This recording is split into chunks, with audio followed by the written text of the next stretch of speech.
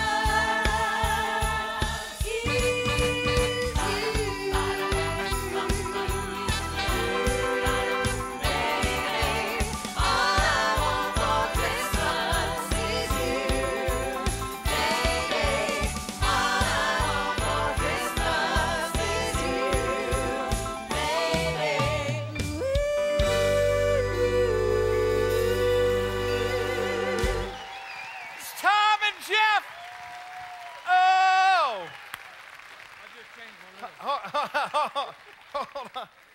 Jeff, what'd you say? I, I said I just changed my list.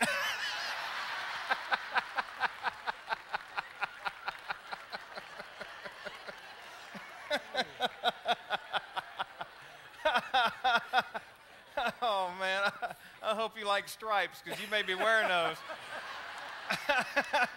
Y'all did, Tom, and you did a great. You're a great sport, Jeff. You were too. I tell you what, you guys uh, did so well. We uh, one of my favorite places here, Barefoot Landing, is Maggie Moo's Ice Cream. We've given both these guys a free milkshake for coming and shaking their thing today. We appreciate you, Jeff. God bless you, Tom. Merry Christmas. Thank you for coming up.